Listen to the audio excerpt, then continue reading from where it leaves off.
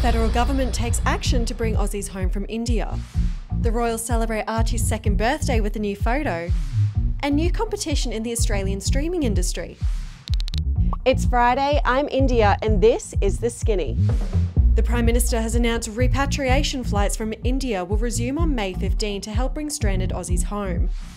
Three flights are scheduled for May, with passengers to be flown to Darwin to quarantine. 900 people are listed as vulnerable.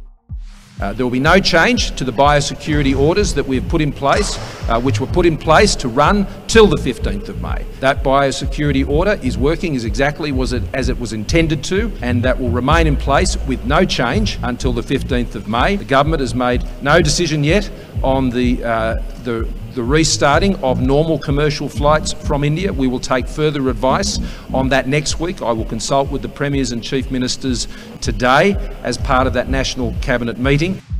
People who visited Sydney exposure sites are now blocked from entering South Australia and are being forced into 14 day quarantine upon entry into Queensland.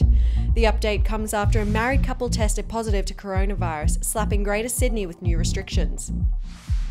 Trainer Kim Waugh, the wife of Aussie cricket great Mark Waugh, is expected to fight animal cruelty charges.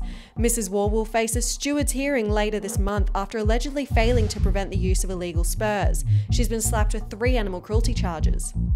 An Australian women's group has lashed out at the decision to allow biological male weightlifter to compete in the female category at the Olympics. Save Women's Sport Australasia is protesting Laurel Hubbard's participation, comparing it to doping. The Olympic Committee ruled her testosterone levels are low enough. The US Defense Force says it has no plans to shoot down a Chinese rocket falling to Earth. The out of control rocket is expected to enter the atmosphere this weekend, and small fragments could reach the ground. The Pentagon hit out at China for losing control of it. At this point, we, we, we don't have a plan to shoot the, the rocket down. We're hopeful that that it will land in uh, in a place where it won't uh, won't harm anyone. Uh, hopefully, in the ocean or, or someplace like that. Harry and Meghan have released a new photo to mark Archie's second birthday and have asked people to donate money for vaccine equality. The photo and message was posted on their Archewell charity page.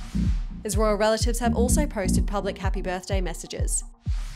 And a Paramount Pictures streaming service is coming to Australia, heating up competition for subscribers.